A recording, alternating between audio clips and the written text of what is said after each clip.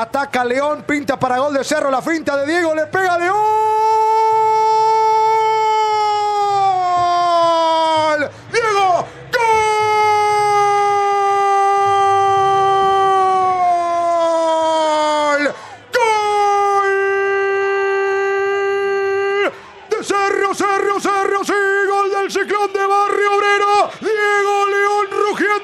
Tomando la pelota con esa tremenda vocación ofensiva que tiene el chico de la cantera Zulana, el lateral izquierdo, con alma de delantero, tomó el balón, limpió el camino sobre carril central, eliminó uno, a dos tras el pase de Carrascal y termina definiendo, entrando al área del equipo de Mallorquín con un puntín fuerte, la pelota que se abraza a la red y termina al fondo, que le ayuda, pero es una gran acción previa, un gran gol del chico que está maravillando en este su tercer partido en la máxima división del fútbol paraguayo. Diego León jugando de local en Alto Paraná con su familia que lo apoya, con el respaldo de la afición azulana presente en el estadio Carandí. Cerro de inicio nada más, impacta ahora con un gol, un gran gol de León que lo firmó con una gran impronta individual, gran acción previa, gran definición, un desvío y la pelota al fondo para que Cerro supera a Mallorquín y llegue a la punta de vuelta del clausura. Cerro 1, General Caballero 0.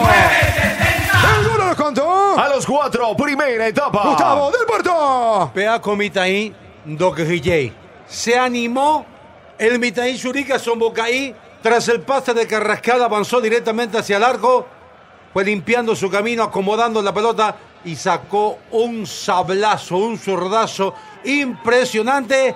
Hasta interior chuta inatajable para Guillén. Cerro era mucho más y tempranamente, en el comienzo, en el amanecer del partido, por un bombazo de este chico alto paranaense, de este chico con nombre y apellido.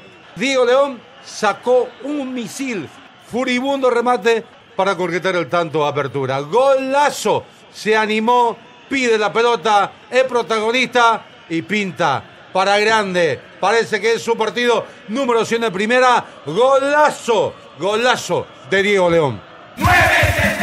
Nacido en Juan Oleari hace 17 años, apareció Diego Basilio León Blanco, marcando su segundo gol en primera división. Corner de Blanc.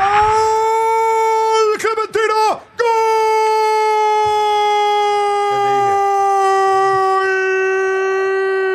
¡Gol! De General Caballeros y gol del rojo mallorquino. El al primer poste.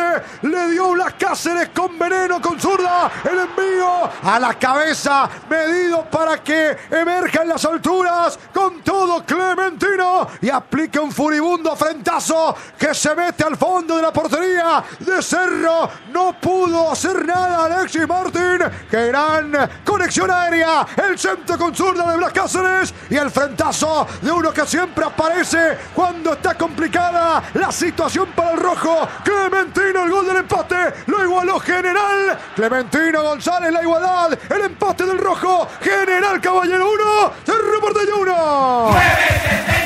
El gol de cuánto. A los cinco, segunda etapa. Gustavo del Puerto. Decía en la previa de esta jugada que el arquero de Cerro, Alexis Martín, no le habló a su compañero para que de Jesús finalmente eche la pelota al córner. Y argumentaba que tiene poder ofensivo en la pelota parada, en el fútbol aéreo, General Caballero. Qué buena ejecución de Blas Cáceres, con rosca hacia adentro, en el primer palo prácticamente ahí se anticipa a todos Clementino González en lo que más sabe, el centro, cabeza y gol, aplica el testazo al techo del arco, inatajable bombazo, como con los pies, definió con la cabeza un bombazo de Clementino para poner el 1 a 1 en el partido. Cerro no extendió la diferencia, lo empató General y quiere más el equipo de Humberto García. Nacido en Colonia Toriubete hace 34 años, apareció Clementino González Martínez, marcando su gol 22 en nuestro fútbol, el número 2 en este año. Aguanta Clemen, la suelta Clementino, está el segundo y está gol. Gol, Teo, gol. De General, General, General, sí, gol de